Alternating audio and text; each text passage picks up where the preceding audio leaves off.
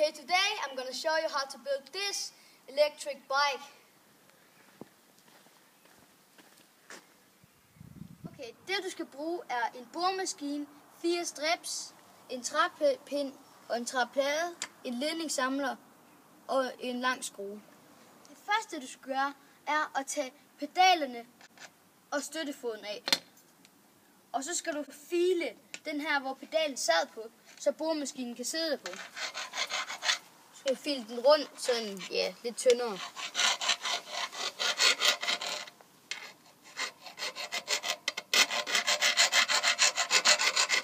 Okay, så tager du boremaskinen og borer et hul igennem den her pind her.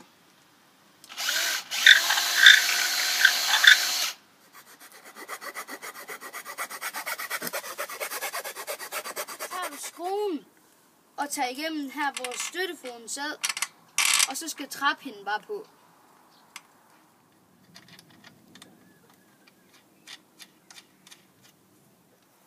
Okay, så tager du og borer et lille hul i den her plade her.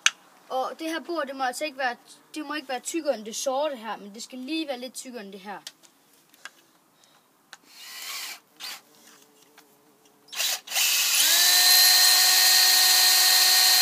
Okay, så tager du boremaskinen og sætter på her, hvor pedalen sidder.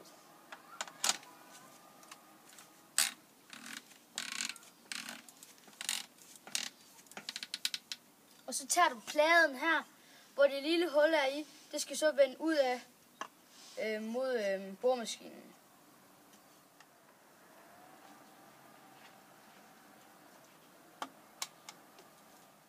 Så, okay, så tager du håndbremsekablet og stikker ned i hullet her.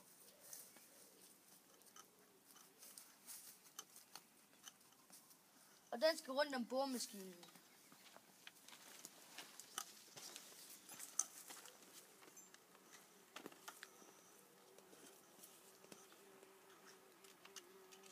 Okay, så tager du ledningssamleren og sætter på lige her.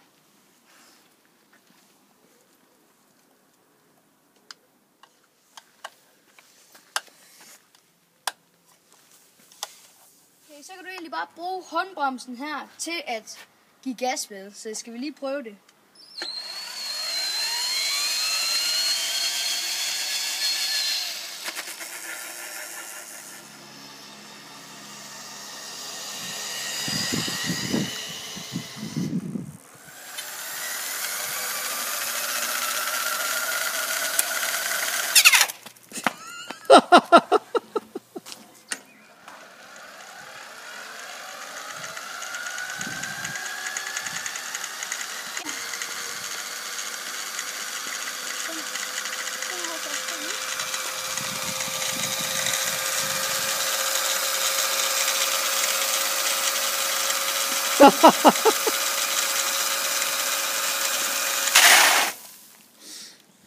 Oh my god.